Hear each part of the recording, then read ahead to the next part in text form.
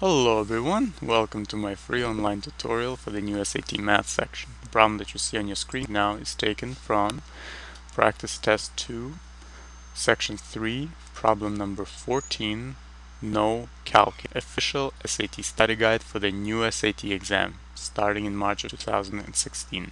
Okay, so uh, this is a um, an exponent problem, right? And we'll see how that works. So, a radioactive substance decays at an annual rate of 13%. If the initial amount of the substance is 325 grams, which of the following functions f models the remaining amount of the substance in grams t years later?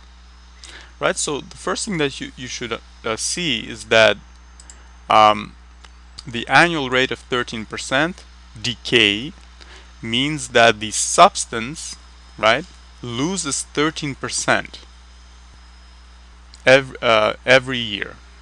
13% of the previous um, um, amount of the substance, right? So it's re it's reduced by 13% every single year. So whatever the amount of the radioactive substance this year, at the end of this year, 13% of it will be gone, right? And that new amount will also uh, decrease by 13% next year after that, right? So this is how it works. So first of all, 13% of something, and this something we'll label as x, so 13% of x is equal to 13 times x divided by 100, right? So this, this you convert uh, from 13% of something, you convert it to a real number right? So you see what, what the amount of the x 13% really is. So that's 13 times x divided by 100, which means that you move the decimal from a whole number to make 13 hundredths, right? And that's going to be 0.13 times x. Okay? So 13% of x is the same thing as saying 0.13 times x. Right? So and the reason why we do that is because we have to calculate what's going to remain of the uh, of the radioactive substance after the first year. Right? So 325 grams is the initial amount, right? So 325 grams. We subtract 13% from the whole amount, which is 1, right? Because the whole amount is 325 grams, right? So we subtract 13% because it lost 13% in weight, right, of the original amount.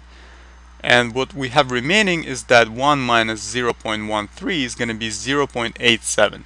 So at the end of the year, 87% of the original amount will remain, right? 13% is lost, so 80%, uh, 87% of the uh, initial amount remains after the first year. Now we take this new amount, which is the 87% of the original amount, and we calculate the new amount at the end of the second year, right? So at the end of year two, we're going to take the uh, at the end of the first year's amount, which was 325 times 0.87, and we find 87% of that amount. So as a result, 0.87 will be multiplied by 0.87 here besides the 325 in the product, right? So this is easy to see that 0.87 will be squared. So we will have 325 times 0.87 squared. So now there's a correlation. Now let's see what what the correlation is. So the correlation is that the year number at uh, whatever the the uh, end of the year that you're looking at, right? Whichever year that uh, whose end that you're looking at, in this case it's year 2, matches the exponent of the 0.87. Right? It's it's easy to see that at the at, at, at whichever year the exponent will be the same. Right? The number of the exponent in question will be the same as the as the year number. Right? So logically at the end of year t the amount of the um, at the end of year t, the uh, amount of uh, radioactive substance in grams will be 325 times 0.87 to the teeth power, right? And this is exactly what you see in choice A, right? This is the final answer that we've arrived at. So you have to, to solve a problem like this, you have to understand how to convert the percentages to a decimal uh, number, right?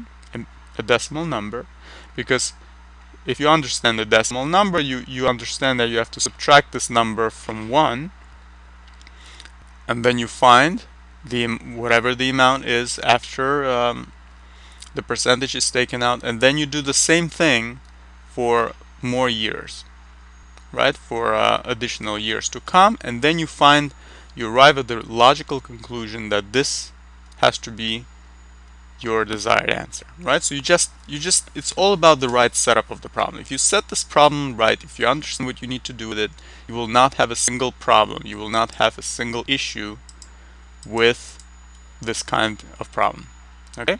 So I hope that you found this video useful. Please uh, visit my website revisedsat.com um, I designed my own prep system that you can join for free there are lots of math questions uh, and timed exams, right? Timed exams for sections 3 and 4.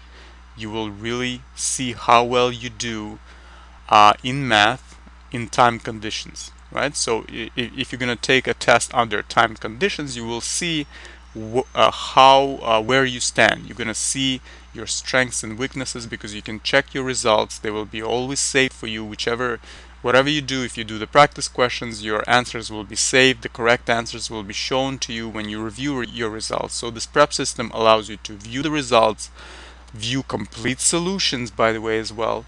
Please watch the video on the revisedsat.com where it says practice on the main menu on the side.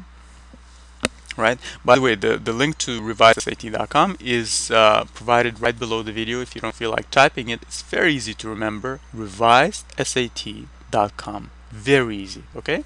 So look, check the practice menu, uh, practice link on the menu, and you'll see a brief video summarizing uh, and showing you uh, visually what your account will look like, okay? So you're gonna see um, uh, you're gonna see the actual login page. You're gonna see uh, what happens, what you're gonna see in the restricted uh, access area of the site when you when you uh, get your uh, free pass. And again, it's a it's a free pass. You don't have to pay anything to join the system. You can start practicing as we speak for free. You can take your first timed exam for section 3 and 4 and see how well you did. Uh, 80 minutes will be allotted for uh, each um, uh, math section for sections 3 and 4. Okay? So 80 minutes in length and then tons of practice questions. So overall, there are over 700 practice questions, including the time test. So there's there's more than enough for you. And once again, it's free. So I see no reason that you wouldn't join. I mean, join right now, don't pay anything, and start practicing, right? And if you want to see what kinds of problems I design, since I'm I'm a mathematician, this math is my hottest passion. Check out my blog on the main menu where it says blog, right? Just where it says practice. On the right of that, you'll see blog link. Check out the free problems that I address and solve for you, all right? And you'll see what kinds of problems I make. Once again, I'm in love with mathematics. This is my strongest passion. I have an undergraduate degree in math. Okay, so uh, check it out and see for yourself. Watch the video and see if you like it, because this is something you will not regret. My prep system, I guarantee you that it will uh, uh, make you feel satisfied. You will improve.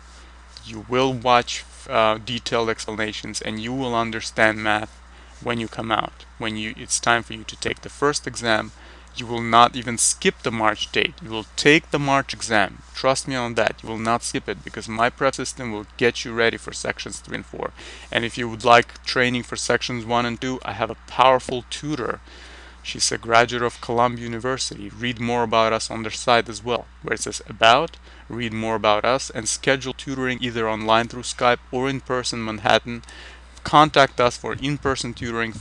Uh, for Skype lessons, you can book us right now. You can book sections 1 and 2. My partner, Lisa, who's a graduate of Columbia, once again. So uh, schedule her and she'll help you with whatever problem you're having with sections 1 and 2 and the optional essay if you choose to complete it. Okay? So you have at your fingertips amazing, amazing tutors. Me, a mathematician, and an English expert, a graduate of Columbia University. We're going to help you out with anything. And I design my own practice questions. Who better than me can understand math? Just think about it, especially for the SAT. So, thank you for staying here. I hope to see more visitors coming. Go ahead and sign up for free uh, and start practicing on my website, revisedsat.com. And uh, if you have any questions, just uh, contact us at revisedsat at gmail.com, revisedsat at gmail.com, or the contact form, or contact us through Skype by texting us through Skype. Whichever way you feel convenient for you, just uh, just do that. All right. And thank you for for watching this video, and I'll see you in my next YouTube video. Take care.